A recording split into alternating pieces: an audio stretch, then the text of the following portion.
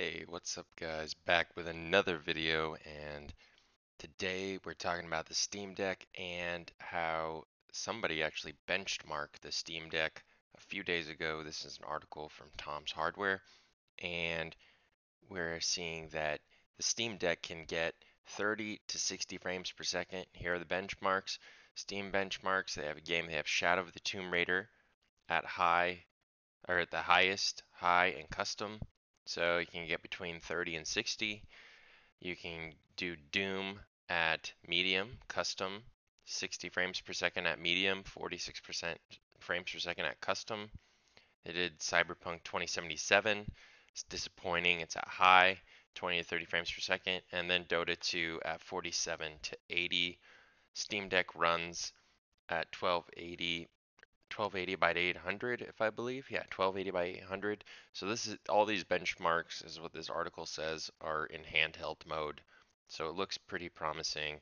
But if you want to play Cyberpunk 2077, you probably need to dial the settings back and you could probably hit 30 frames per second on medium or maybe you need dial it back to low, you could hit 40 frames per second.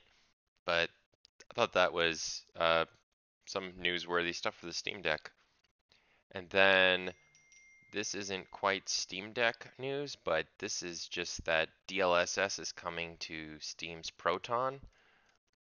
And I don't know if they're going to fork this onto the Steam Deck. Some people are speculating it's going to get forked onto the Steam Deck or put onto the Steam Deck, but it's going to be put into Valve's Proton one speculation I have is that there might be other Steam Decks being built by other companies like Alienware or Dell or HP, and they want to use NVIDIA GPUs and they want to take advantage of DLSS because Valve wants the Steam Deck to be like an ecosystem and it wants it to be like gaming laptops where you have like a hundred different brands and they can just use Valve's Steam uh, Steam OS and put it on there.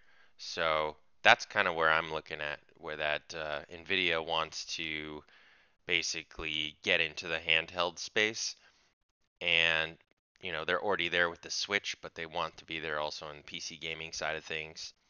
And it makes sense that they would work with Valve to get DLSS working on NVIDIA GPUs because there might be some other versions of Steam Decks that do come out and they do have, you know, Intel and NVIDIA, uh, you know, an Intel processor and NVIDIA um, mobile GPU, or you know, they could have a product come out where it's an AMD CPU and an an NVIDIA GPU. So, you know, there could be those types of products. Uh, gaming laptops, some gaming laptops have a Ryzen 5000 series chip or a 4000 series chip, and then they you know, they do utilize a NVIDIA card. So yeah, thought this was interesting.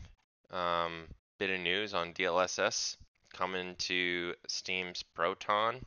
And yeah, that's it for this one. I hope you guys enjoyed. Like and subscribe, and I'll see you in the next one. All right, see ya.